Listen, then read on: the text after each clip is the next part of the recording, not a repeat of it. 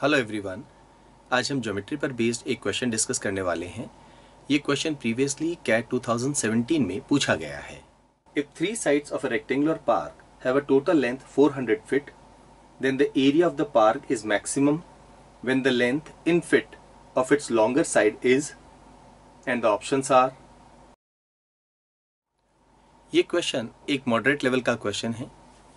हमारे पास में एक रेक्टेंगल है।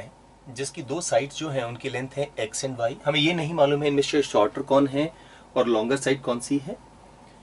इसके तीन साइड्स का सम हमें 400 फीट गिवन है। लेटेस्ट से x plus y plus x यानी 2x plus y is equal to four given है।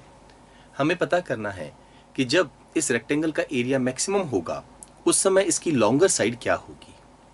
एक इंपॉर्टेंट प्रॉपर्टी है एरिया ऑफ़ रेक्टेंगल का फॉर्मूला होता है base into height so x into y हमें इसे मैक्सिमाइज करना है। ना यहाँ पर हमें एक इंपॉर्टेंट प्रॉपर्टी मालूम होनी चाहिए, जब हम मैक्सिमा एंड मिनिमा के क्वेश्चंस करते हैं।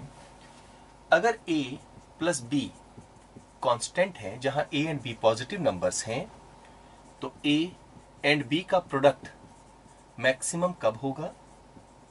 जब ए और बी आपस में इक्वल होंगे। ये एक इंपॉर्टेंट प्रॉपर्टी है, जब आप इनइक्वालिटी के क्वेश्चंस डील करते हैं, उसमें भी आती है ये। यहाँ पर 2x एक्स प्लस वाई, ये कांस्टेंट है।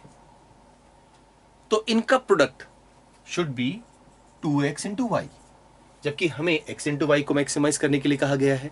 तो यहाँ हम एक काम कर सकते हैं x इंटू वाई को हम लिख देते हैं 2x एक्स इंटू वाई, और इस पूरे एक्सप्रेशन को हम 2 से डिवाइड कर देते हैं।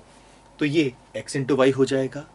अब आप इसे एक तरह से a ट्रीट करें, इसे b ट्रीट करें तो a इंटू बी मैक्सिमम कब होगा? अगर आपको a plus b constant given है तो a इंटू बी मैक्सिमम कब होगा? जब a और b आपस में क्या होंगे? इक्वल होंगे। ये दोनों आपस में इक्वल होने का मतलब है, ये वैल्यू भी 200 होनी चाहिए और ये वैल्यू भी 200 होनी चाहिए। ये 200 होने का मतलब है x की वैल्यू 100 और y की वैल्यू 200 तो जो लॉन्गर साइड है रेक्टेंगल की, वो क्या होगी y? और इसकी वैल्यू क्या होनी चाहिए? 200 तो एक थोड़ा सा ट्रिकी क्वेश्चन था इस तरह के कंसेप्ट अगर आपने पहले पढ़े हुए हैं तो क्वेश्चन को सॉल्व करना काफ़ी आसान हो जाता है। हमें यहाँ पर मैक्सिमम एरिया नहीं निकालना है। अदरवाइज़ हम 2x की जगह 200 और y की जगह 200 सब्सटीट्यूट कर देते तो हमारा जो मैक्सिमम एरिया हो सकता है रेक्टेंगल का, वो भी आ जाता।